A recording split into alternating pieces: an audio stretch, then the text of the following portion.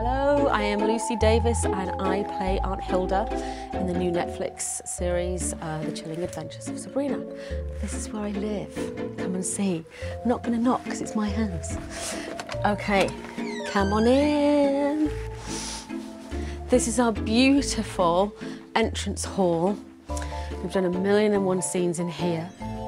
And the stairs obviously go up to the uh, second floor of the Spellman house, although that's in another part of the stage. So actually, if you open those doors at the top, there's a very uh, lethal drop down there.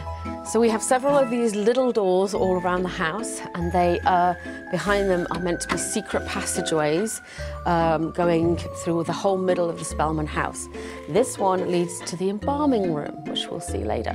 But as you can see, there are two steps, and it goes to nothing. Hi, this is our uh, living room, our lounge area. It's the room with six doors in it, um, a fabulous plate glass ceiling.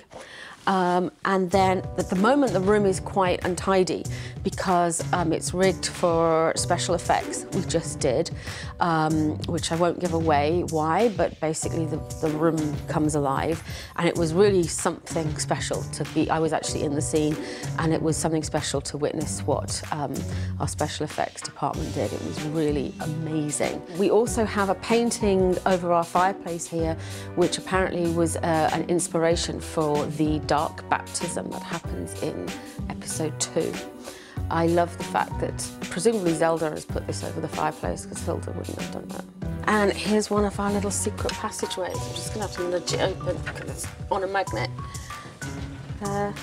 And then you can hide from demons. Everyone needs one of these. So this is where Aunt Hilda spends so much of her time. Um, I, as Lucy, am vegetarian and I've somehow managed to fudge it so that I've made Aunt Hilda vegetarian. It's very good. Um, if ever you're watching a scene and you see like steam coming out of things, it will usually be because, whoops, in here is a kettle boiling so that you can see steam coming up or they'll put water in and then put an implement into the water to make it steam and then take it out just before action is called. Um, then there are like, um, here's obviously what's meant to be a wall, but they can pull that out to put the camera through and get Hilda from this angle, and there's the same both sides as well. The, the uh, wall is missing on that side for now.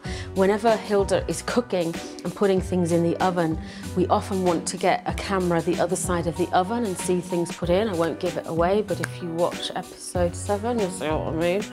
Um, and we actually have um, uh, a make-believe oven that we bring out here um, so that I can uh, pull it open and we can have a camera this side of it.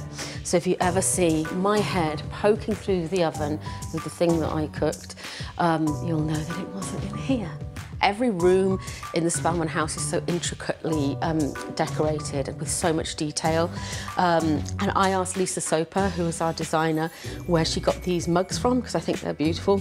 And she said they are actually 1920s mugs and she found them in an antique store and she said I bought all six so I don't think I'm going to get my hands on them at the end uh, unless I'm really nice and then everywhere in the Spellman house has symbols of bunny rabbits um, and if you look up witchcraft and um, rabbits, you'll, you'll see connections with that. And we've got them everywhere. We've got them on um, uh, bed covers and we've got them on plates over there.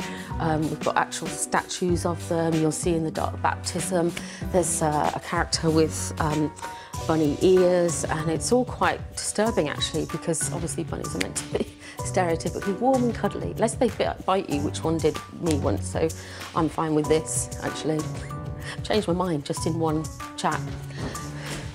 Stop looking at the shadow man. We're going to the embalming room. And so this is the other bit of the stairs that we saw inside the little tiny door. And it comes down to the embalming room, which is probably my favorite room, my favorite set here.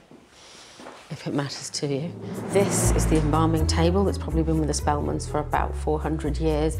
Every poor person that has to lie on here and be a dead body has to lie here for several hours. It's pretty cold and it's pretty hard. Over here are the freezers for the dead bodies, although I like to think that perhaps Hilda keeps her extra food that she cooks. She cooks so much. No one can eat it. It's impossible, really, for anyone in Canada to eat it. But I think she stores them in there. And then over here is the oven that the dead bodies go in, and it's pretty gruesome in there. I'm not to lie. It looks like it's been used for literally hundreds of years. So this is largely Ambrose's room connected to the embalming room and he does a lot of his experiments in here, as you can see with this poor, poor rat that once lived. And oh phew, I thought we'd run out of vomit. Oh God, it stinks, no? Okay, I'm bored of you now. I've shown you the Spellman house and I've got some vomit to cook with.